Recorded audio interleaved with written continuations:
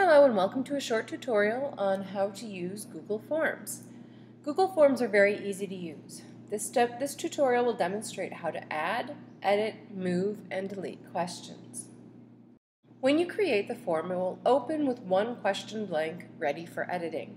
You may type your first question into the box and then add the answers. When you have finished creating a question, click Done. If you need to make a change to a question, click on the pencil icon to enter the edit mode. When you're finished, click Done. When you're ready to add another item, click Add Item. Notice that it automatically chooses the question type. To change that, you can click on the menu and choose a different type. The next question I will enter into the survey allows people to select multiple responses, so I will choose checkbox from the type of questions.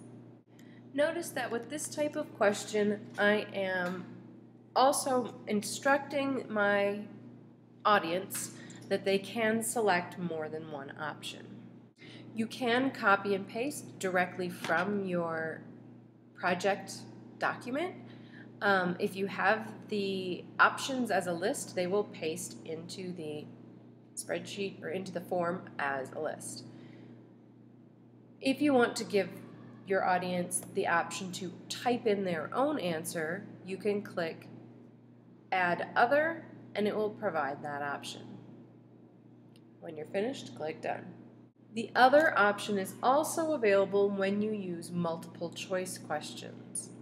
Now I want to add a scale question. So I click on Add Item, I change the question type to Scale. And scale, scale questions allow people to rate something from high to low. When using scale questions, you can change the range to provide people with more options. The scale lowest end needs to be 0 or 1, but the scale's upper end could be from 2 through 10. You should also define the high and low end of the scale. Defining the high and low end of the scale helps people understand the question and answer it truthfully. If you decide you do not want a question or you accidentally add a question that you don't need, you can click on the garbage can to make it disappear. If the questions are not in the right order, you would like um, this question above the other one, it's easy to click and drag it into the right place. Lastly, the survey is anonymous. Make sure that all of the boxes in the form settings are blank. Unchecking this option allows people from outside of school to respond to your survey. So if you share your survey with your friends or family outside of school, they can actually still see it. When your survey is ready, one person from your team should share it with your teachers and classmates.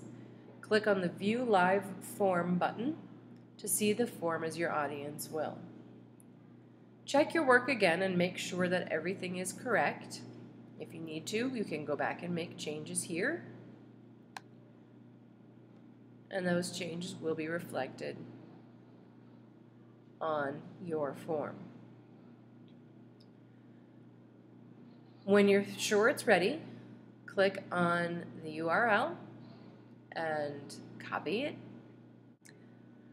Go to the uh, page of the project website and click on the link to send your form. Include first and last names for everyone in your on your team. Choose your class period and paste the link in the space. Notice that it also wants you to paste a link to your document. Go back to your project work, copy the link, and paste it into the document, into the form. Click on Submit. Only one person per team needs to do that. After you've done that, you can return to the project page you may need to click on the refresh button frequently to see the new links as they are added to the spreadsheet. Thank you for watching.